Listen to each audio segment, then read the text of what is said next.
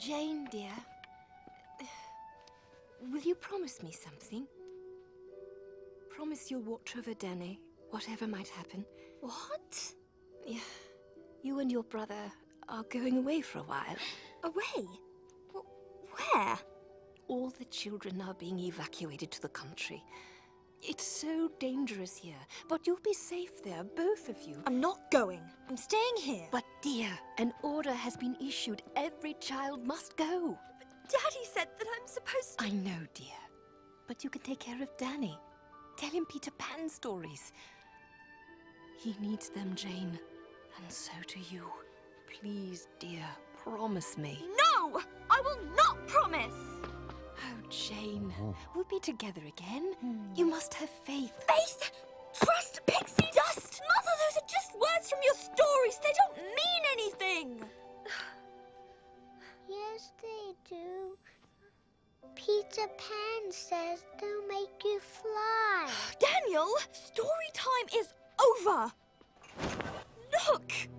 It's a war.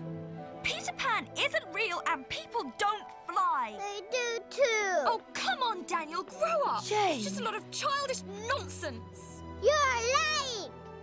Jane, how could you treat your brother that way? You think you're very grown up, but you have a great deal to learn.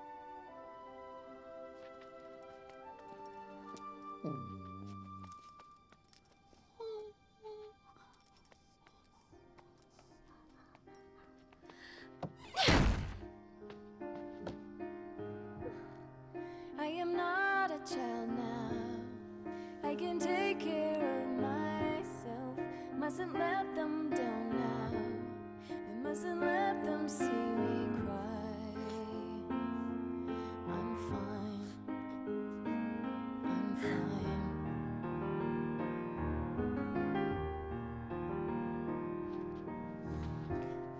I'm too tired to listen. I'm too old to believe childish stories. There is no such thing as faith and trust and pixie dust.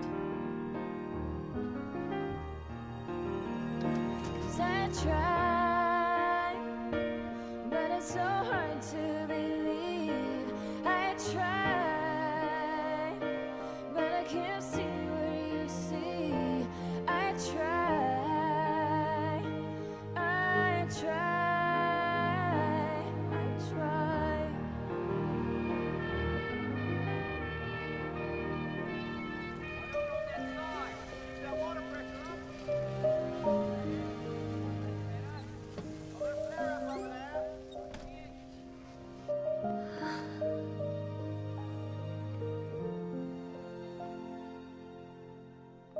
Peter Pan.